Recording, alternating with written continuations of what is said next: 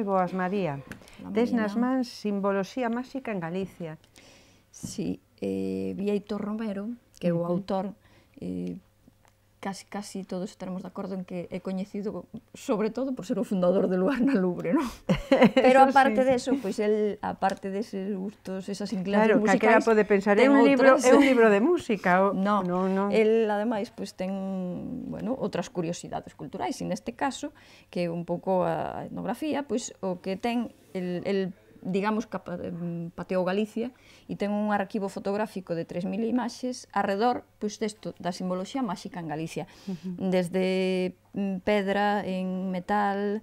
Eh, hai incluso neste arquivo, nestas 3.000 fotografías que el ten, hai pezas que incluso que xa non existen, pezas que desapareceron, porque moitas veces non nos preocupamos de coidar do patrimonio. Ese patrimonio. Sí. Bueno, pois, é verdade, moitas están un, en pedras. Claro, el fixo unha primeira selección para unha publicación anterior, que se chamaba Xeometrías Máxicas de Galicia, e agora pois, eh, sai este Simboloxía Máxica de Galicia, que fai un percorrido, xa te digo, eh, por todo tipo de, mira, mm, en pedras, en igrexas, en castros, porque tamén hai desos que falábamos, pois algúns pois eso que non cuidamos ben, pode ser pois Explícanos en castros, en... Eh, vai explicando máis ou menos o que sí, explica poden... un pouco o que o que, o significa, que significa e aparte vai vai en mira, o que fai é separalo en capítulos dependendo de que tipo de símbolo sexa, tríceles, tetráceles, pentáceles, rosetas, Tás espirais, espirais, depende de cada un, el fomos vai, agrupando así para facer a clasificación.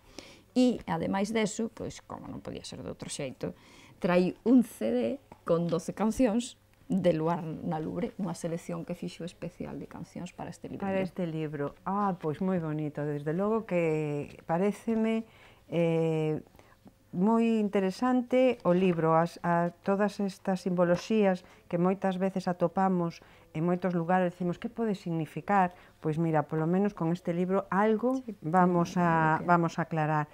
E despois, que ainda encima vai acompañado de música, e de música da que nos gusta, que máis queren. Ademais, pareceme para regalar e para e tamén para, para telo na casa, eu creo que de consulta. Sí E se viaxamos tamén podemos leválo e mirar se viaxamos por toda esta Galicia eh, tan bonita e tan máxica, verdad? Así que xa o saben, simboloxía máxica en Galicia de Vieito Romero.